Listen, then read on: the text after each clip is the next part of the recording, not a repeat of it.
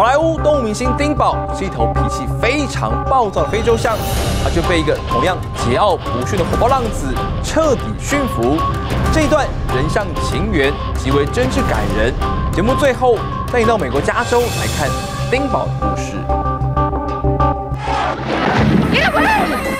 他是丁宝，好莱坞的动物明星，因为野性未被驯服，多次在片场失控。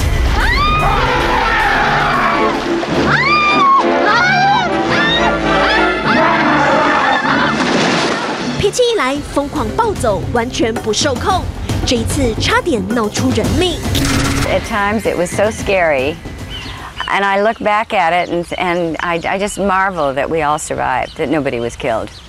多年后，丁宝被安置在加州一处农庄，由克里斯照顾。 Timbo, come here. Move up.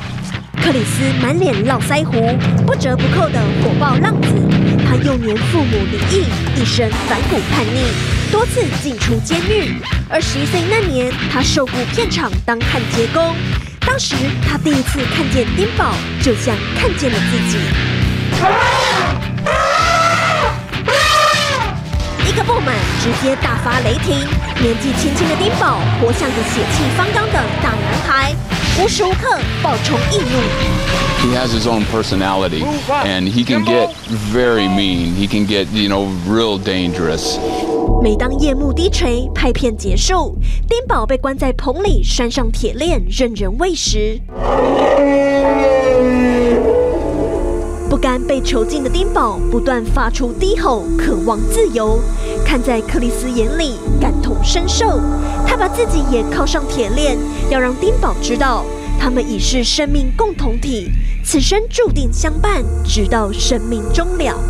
Since I got this elephant, then I'm going to make it my own personal quest to give him as much freedom as I can. 一九七五年，克里斯担任这座动物农庄的园丁，他跟丁宝的人像情缘就此展开。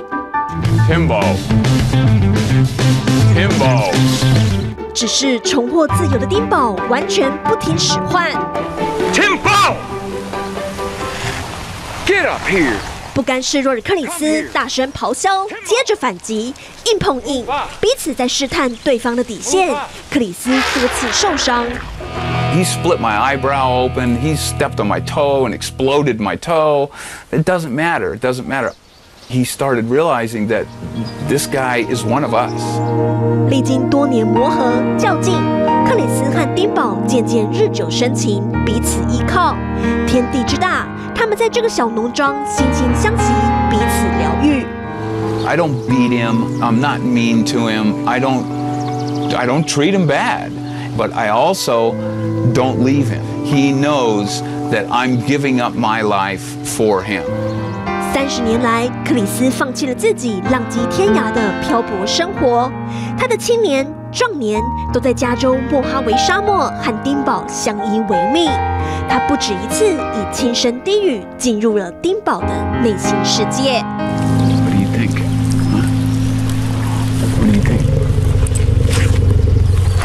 总在彼此的眼神里诉诸情感，心灵交流。此时，丁宝年事已高，十六岁的他体力已经大不如前，行动迟缓，三餐更无法自行觅食。眼看丁宝日渐虚弱，克里斯不禁悲从中来。他无法想象丁宝会比他早一步离开人世，他在心里暗自允诺，无论如何都要陪他走到生命的尽头。